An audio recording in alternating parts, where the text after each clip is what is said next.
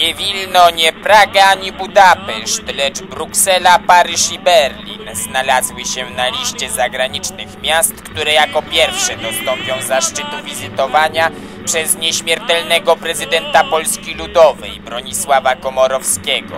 Skończyła się polityka układów z geopolitycznymi miernotami w postaci Litwy, Łotwy, Estonii i Gruzji. Polska Ludowa nie chce mieć nic wspólnego z imperialistycznymi wizjami Lecha Kaczyńskiego. Polska Ludowa nie chce mieć nic wspólnego z Międzymorzem. Dlatego też prezydent Komorowski w pierwszej kolejności pojedzie wizytować Brukselę, centrum demokratycznego świata, w którym ważą się losy narodów. Na dowód naszego oddania dla odwiecznych i nieśmiertelnych idei integracyjnych, prezydent Komorowski przedstawi nową, lepszą wersję hasła przedstawionego podczas kampanii wyborczej. Zgoda buduje, bo Unia jest tylko jedna. To hasło będzie drogowskazem na najbliższe lata dla sił prodemokratycznych w naszej ludowej ojczyźnie.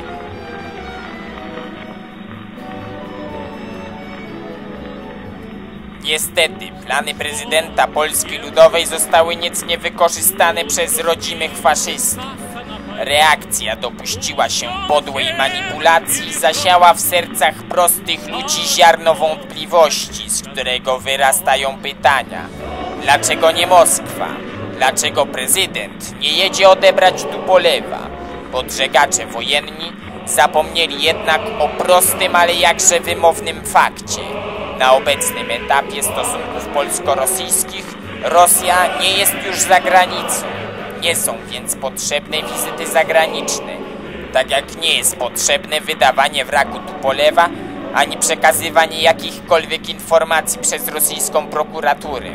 Jak mówi stare przysłowie, Kurica nie ptica, Rosja nie zagranica, a demokracja jak zwyciężała, tak zwycięża.